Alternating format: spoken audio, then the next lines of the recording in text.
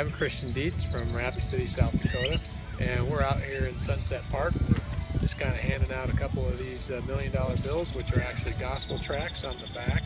And I was just uh, remembering here with my friend Rod um, many, many years ago, probably 25 years ago or so, um, when uh, I was a Christian at the time, but I was uh, doing some things that I probably shouldn't have been doing as far as hanging out with some people that I shouldn't have been hanging out with.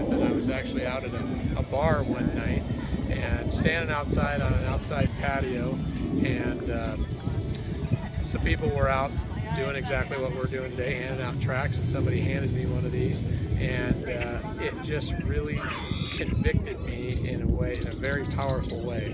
And so uh, I just tell that story to remind people of just uh, what seems like something so very, very simple, handing somebody a piece of paper uh, with a gospel message on it can have an enormous effect uh, um, depending on what's going on in that person's life. So just want to encourage you. Um, if you uh, get out and hand these out, some of them are going to plant some seeds somewhere and have an effect.